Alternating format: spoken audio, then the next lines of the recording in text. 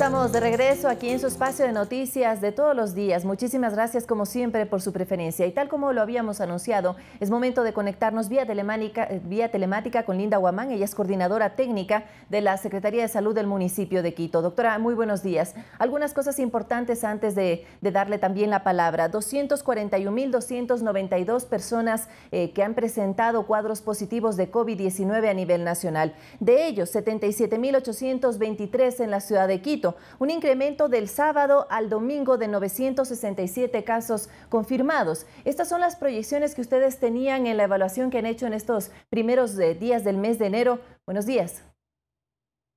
Hola, ¿qué tal? Buenos días. Sí, nosotros estábamos esperando que luego de las festividades de Navidad y Año Nuevo, todo, todo enero tengamos un repunte de casos. Y es por eso que desde la Secretaría de Salud, eh, desde noviembre, estamos haciendo dos procedimientos de contratación pública para tener más pruebas. Eh, a pesar de que tenemos ya un inicio de vacunación en fase preliminar en el país, es indispensable seguir haciendo pruebas, eh, ya que hasta que no contemos con una vacunación de por lo menos 70%, la segunda herramienta más eficaz para contener la pandemia será el testeo. Así es que es algo que nos esperábamos. Eh, sin embargo, es importante que veamos en las siguientes semanas o días el resultado de las medidas anunciadas por el alcalde la semana pasada. Antes de hablar de esas dos cosas, de los procesos de contratación para la adquisición de nuevas pruebas y de las medidas que rigen en Quito, le había escuchado yo, doctor, en alguna ocasión que decir que Quito es la ciudad más afectada por el COVID-19, por la pandemia, quizás no sea tanto así, sino que la ciudad también hace el número de pruebas eh, mayores que otras ciudades y eso podría dar una distorsión de lo que pasa realmente entre, entre Quito y otras ciudades del país. De acuerdo, mientras más busques, más vas a encontrar. Eso es eh, con certeza algo que está sucediendo en la pandemia. Puedes tener ciudades que no reporten casos, pero no necesariamente es porque no existan, sino porque no tienes un testeo adecuado. Eh, la ciudad de Quito, en conjunto entre el Ministerio de Salud Pública, la Secretaría de Salud y laboratorios privados, tiene más o menos 270 mil eh, pruebas realizadas en lo que va de la pandemia. Esto supera con mucho a otras ciudades. Eh, para nosotros ha sido importante ver esto reflejado, por ejemplo, en el exceso de mortalidad. Eh, somos la ciudad que más positivos tenemos, pero no somos la ciudad con más exceso de, mortalidad en el país, por ejemplo. Entonces, eh, hay que tener en cuenta otros indicadores, no solo la positividad. Pero la estrategia de seguir buscando continúa. ¿Cuántas pruebas se están haciendo al momento? ¿Tenemos todavía stock de cara a esperar los resultados de las contrataciones que están haciendo y que estaban eh, ya eh, estipuladas para los próximos meses? Claro, mira, desafortunadamente eh, en diciembre, a finales de diciembre, inicios de enero, se tenía que adjudicar ya al ganador del laboratorio ganador. Lastimosamente, los ofertantes no incluyeron la firma electrónica un requisito que por una resolución de la CERCOP es absolutamente necesario en todos los procesos de contratación pública. Entonces, se tuvo que declarar desierto. Sin embargo, la Secretaría de Salud recibió 10.000 kits de PCR, eh, producto de una donación de la gestión de la Embajada de Ecuador en Corea. Son kits que tienen aprobación del FDA que detectan cuatro genes, eh, tres específicos de, coronavirus, de, esta cepa SARS-CoV-2. Entonces, con eso y con eh, un remanente que teníamos de pruebas de más o menos 14 mil, hemos estado haciendo más o menos 500 pruebas por día eh, en nuestros puntos de triaje y brigadas comunitarias. justamente en estos días vamos a firmar una adenda con la PUSE, institución con quien estamos haciendo el procesamiento de las pruebas PCR para prolongar este convenio hasta mediados, inicios de marzo, que es cuando se prevé se adjudicará a los eh, laboratorios o al laboratorio ganador. Pero llegarán también otras pruebas y estas son para la búsqueda de antígenos, que es otro componente del virus un poco diferente a lo que hace la prueba PCR, pero con iguales eh, condiciones de efectividad. ¿Estas cuándo llegarán? ¿Cuándo ya podrían empezar a aplicarse, eh, toda vez que el proceso vaya avanzando según el cronograma? Claro, eh, planeamos hacer una subasta inversa. Eh, como eh, mecanismo ¿no? de, procedimiento de contratación pública, estamos buscando comprar por lo menos 100 mil de estas pruebas. esta semana estamos haciendo el estudio de mercado para determinar el costo referencial y con eso el presupuesto, pero serán por lo menos 100 mil. Estimamos que si en esta o la siguiente semana subimos al portal de compras públicas, porque ya tenemos todos los informes que nos respaldan para esta compra. Eh, más o menos para mediados de marzo tendríamos ya estas pruebas. Aquí hay una gran diferencia con el otro proceso de compra pública que te acabo de, contar. El primero busca contratar un laboratorio para que sean ellos los encargados de todo el procedimiento que involucra la PCR.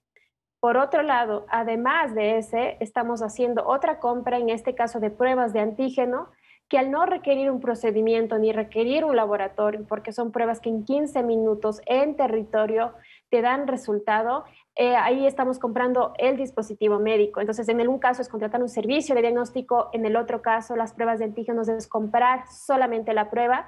Vamos a comprar bastante más, por lo menos tres veces más el número de pruebas de antígeno porque como tú bien indicabas, son igualmente diagnósticas, también detectan la presencia del virus en la persona. Estamos asegurándonos de comprar pruebas con sensibilidad de por lo menos 95% para poderlas usar con toda la tranquilidad en la población. Nuevas medidas fueron anunciadas por el, alcalde de la ciudad, Jorge Yunda, la semana anterior, medidas que también han tenido sus reacciones y sus críticas. Lo que sí es cierto es que el número de aglomeraciones que se registran en la ciudad de Quito son preocupantes. Esto lo advirtió Juan Zapata, director del ECU 911. Eh, ¿Hasta cuándo deberían mantenerse estas medidas? Están las, las vacunas ya en el país, pero el plan de vacunación es lento, pausado y todavía los sectores prioritarios eh, son los que van a ser eh, prioritarios, obviamente, como la palabra lo indica pero para el resto de la población deberemos seguir esperando. ¿Cuál es el llamado que se hace sobre todo a la población eh, de cara a estas nuevas medidas y por supuesto de cara a este plan de inmunización que todavía tomará su tiempo? Bueno, al frente del COE Metropolitano está la secretaria de Salud, la doctora Jimena Barca. Ella se ha pronunciado la semana pasada respecto a las medidas que se deberían tomar y el alcalde ha acogido las mismas y ha anunciado. Como tú indicabas, eh, nosotros al interior del COE Metropolitano hemos podido ver los videos de la Agencia Metropolitana de Control, dando cuenta de la gran cantidad de aglomeraciones, fiestas, apertura de bares eh, que han ocurrido en los primeros días de enero y que pueden haber sido la causa de lo que estamos viviendo ahora en la saturación del, del sistema de salud. Entonces, se ha planteado esta restricción y se pretende evaluar cada 15 días justamente porque estamos conscientes, también tenemos una secretaria de producción quien, por otro lado, ha explicado la gran preocupación que tiene de reactivar la parte productiva.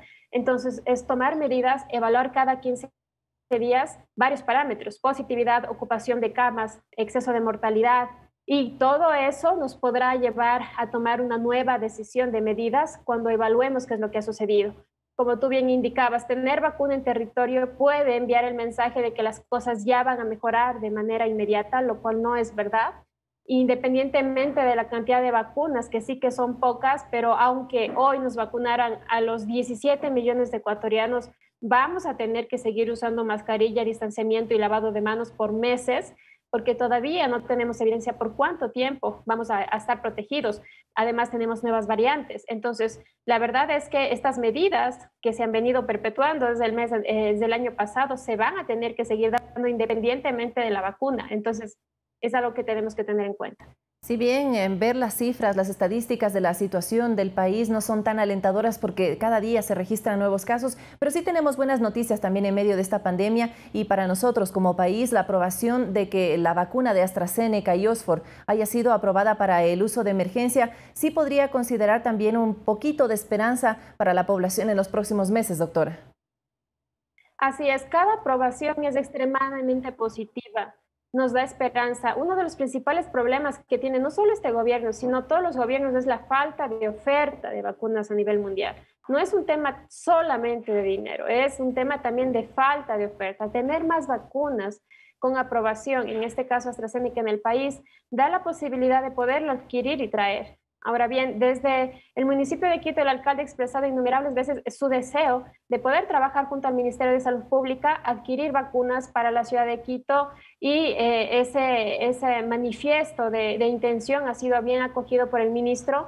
Eh, apenas el Ministerio de Salud Pública dé luz verde para que los GATS o empresas privadas puedan adquirir vacunas, nosotros estaremos eh, dispuestos a hacer todo el trámite que requiera para poder proveer a la ciudad de las vacunas. Eh, en este caso, AstraZeneca me parece justamente una de las, eh, de las varias que existen que deberíamos apuntar por sus costos, que son mucho menores, pero además porque la cadena de frío, que es una temperatura de refrigeración a la cual estamos acostumbrados, va en gran medida a ayudarnos a que podamos llegar a diferentes territorios, especialmente áreas rurales, donde, por ejemplo, la vacuna de Moderna de Pfizer sí que representa un gran problema. A propósito de esas diferencias entre la una vacuna y la otra, la de Pfizer, menos 70, menos 80 grados centígrados para su traslado y para su preservación. ¿Qué pasa con la vacuna de AstraZeneca?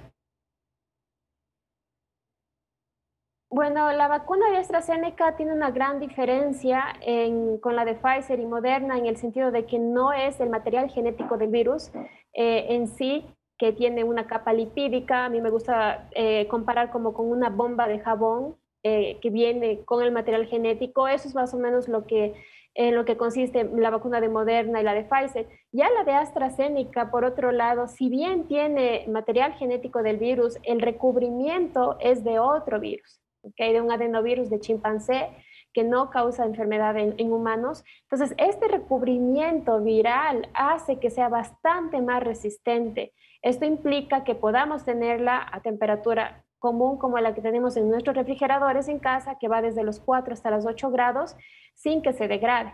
Eh, esto nos ayuda muchísimo. Eh, varias otras eh, marcas están incluso evaluando la posibilidad de liofilizar, es decir, hacer como polvo la vacuna para que una vez que llegue al territorio se pueda resuspender en solución salina. Pero la verdad es que teniendo ya temperatura de refrigeración, para nosotros es un gran alivio porque el Ministerio de Salud Pública tiene experiencia con vacunas que se transportan en refrigeración.